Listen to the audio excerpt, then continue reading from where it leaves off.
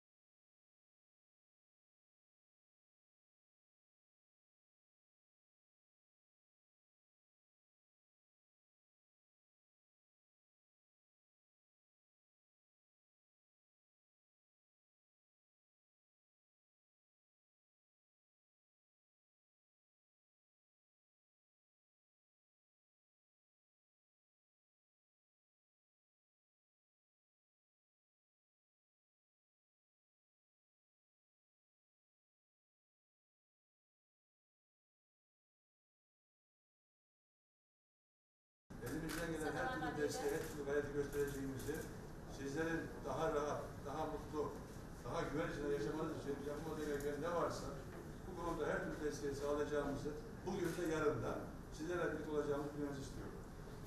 Ve bu bizim e, Sayın Cumhurbaşkanımızın üzere talimatı. Sayın Cumhurbaşkanımız Recep Tayyip Erdoğan'ın talimatı yapılması gereken ne varsa Libyalı kardeşlerim için yapın. Talimatı bu. Haklısınız, kazanacaksınız. Ben buna Diğerleri efendim, haksızlıklarının e, karşılığını altta alacaklar da. Onları destekleyenler de onlar da hezimete uğradılar, uğrayacaklar. Tabii bu başarılar böyle kolay olmuyor. Birçok şehit verdiniz, birçok şehit verdiniz.